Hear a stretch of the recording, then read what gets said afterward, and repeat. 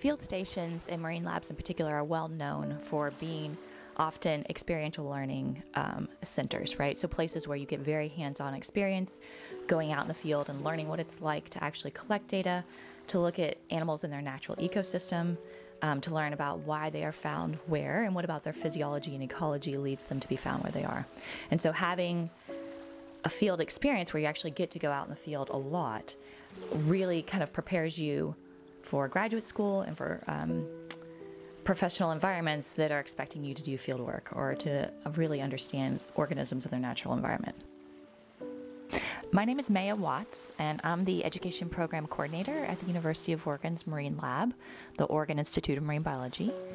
Um, my role is um, in advising a lot of our marine biology majors at the U of O, which has about 300 marine biology majors. And I also am a career instructor, so I also teach uh, a few courses here as well. So, the OIMB campus is two and a half hours from the main campus in Eugene, and there are six resident faculty that are here all the time doing research and teaching our courses. And so, um, one end of campus has all the research labs. So, our faculty are kind of world renowned scientists in their own fields, and so they all have research labs. So, they're writing major grants, they have a lot of, they have graduate students as well as undergraduates doing research in their labs. And so, one whole end of campus is kind of our research of campus that has their their labs, lots of different microscopes and research facilities. Um, the other part of campus, as you move through campus, is our student life of campus. And so it has um, dorms where we can house about 70 students or so.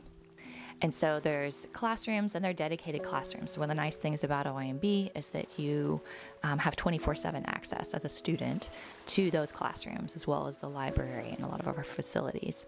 And so our classes are also structured differently, and so instead of having, say, a biology class that's an hour and a half lecture twice a week and then a three hour lab, our courses are entire days. And so each course is a whole day, sometimes more than one day. So that gives us the opportunity to go out in the field, um, to have a lot of time in the lab. So we might be out in the field first thing in the morning on early morning low tide. We might come back and do a lecture or work up the data or look at the animals we've collected. We might be out on our research vessel. And so even though you're in class all day, you certainly aren't being lectured to all day, right? You're um, working in the lab, you're working in the field, and it's designed to be very much an experiential sort of learning environment.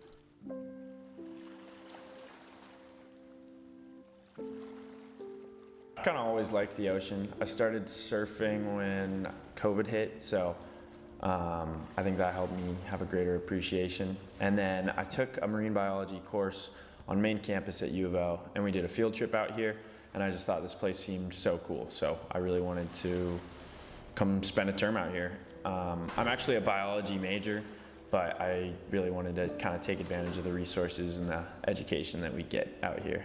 I got interested in marine biology by volunteering at the Oregon Coast Aquarium when I was in high school.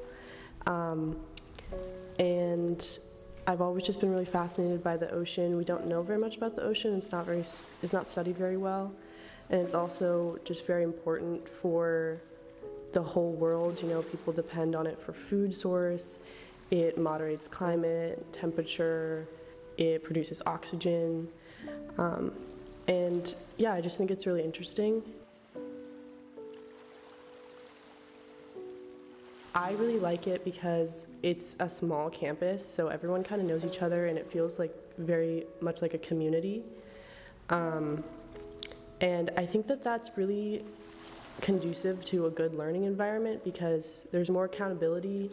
People people show up to their classes here. Like nobody ever skips their classes because all your friends are in your class. You know, all your roommates are in your class. Um, we eat meals together, all three meals of the day. Most people do, at least. Um, and we live together, and it just feels very like, kind of like a family. And I feel like it's easier to learn when you're comfortable with your classmates and with your professors. Like all the professors are part of the community as well. Um, and it just makes people feel more comfortable and more open. And I think it really helps people learn more. Uh, it's way different. Um, basic, like all day classes, at least for me, really helps me stay engaged. Um, it's tough when you have maybe three hours of class time a week. I, I, don't know, I just find that all day classes, like I'm constantly thinking about everything, and then the ability to go out into the field and see all the organisms you're actually talking about, you just learn stuff so fast. Like most of the ecosystems on Earth, the ocean and, and its coastal habitats are uh, under severe human pressure.